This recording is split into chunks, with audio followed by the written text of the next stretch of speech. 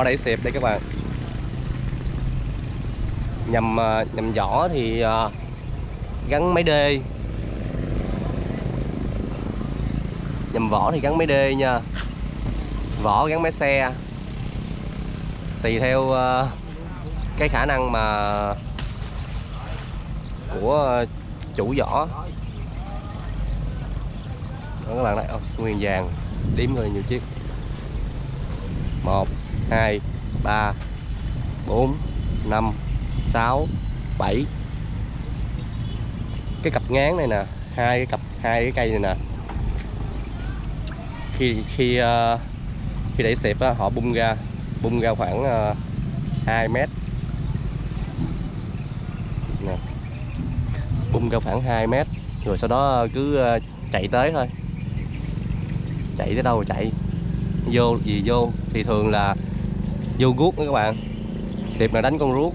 Nè, ruốc ruốc này phơi đây nè. Đó.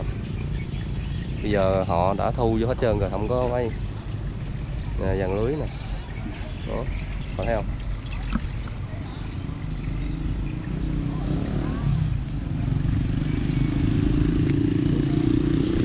Tại sao mà họ để cái cái can này? Tại vì cho cái cái đầu này nè, nó nổi lên. Đó để có dịp trải nghiệm thì mình sẽ quay cho các bạn xem ờ, đi đẩy xịp như thế nào. Tùy theo thôi, vật dụng thôi, ai muốn trang bị gì trang bị, canh nhựa, đó còn lưu đó chứ.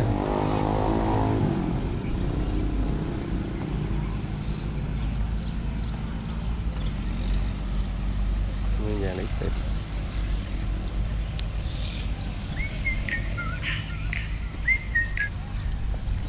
Hello.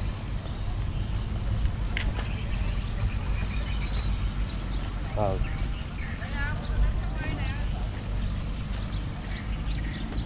Không? Quá trời. Vàng đĩa xịp này là mỗi ngày kiếm biết biết nhiêu tiền mà nói.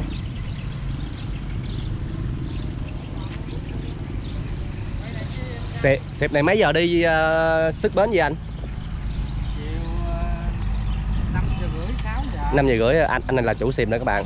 Tại vì à, mình đang quay về à, nghề biển thì cho nên là mình sẽ quay những ngành nghề liên quan đến à, ghe biển.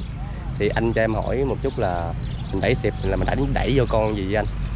Ờ nó nói không chừng nếu mà mình xẹp á thì bắt cá tôm. Bắt cá tôm ha. Ờ. rồi rồi rồi em thấy là có có có phơi ruốc nữa đó anh. Guốc thì à, ủi guốc thì cướp chủ á đó là bắt à, gặt ghi guốc không à. Dạ. Ờ, vậy là là à, anh anh à, chạy như vậy là một ngày là tiền công mình được bao nhiêu vậy anh? Cũng không chừng ngoài biển này nó cũng không không có chừng đâu. Ừ, Dạ. khi à, đi ra đi vô rồi nó à, đủ dầu còn khi trúng thì cũng lại triệu hơn triệu Dạ rồi đúng là công việc này thì hàng ngày thì nói chung cũng vô mùa đó các bạn. Rồi à, thôi, em cũng cảm ơn cảm ơn anh ha đó, thì nếu mà có dịp trải nghiệm thì mình sẽ đi à, quay cho các bạn xem. Là đẩy tới tới tới sáng về hả anh? Nhằm cái để, để ủi xẹp á thì ủi ban đêm không mà chiều đi sáng vô còn à, còn ủi guốc này thì à, nhiều khi đi nhiều khi có những người chiều ta đi ra biển mãi người ta ngủ. Dạ. Rồi khi người ta đi. Dạ. À, vâng cảm ơn rất nhiều. Rồi các bạn nhớ đón xem kênh của mình nha. Mình có dịp mình sẽ quay toàn cảnh về những cảnh này cho các bạn xem rồi chào các bạn. Cảm ơn các bạn rất nhiều.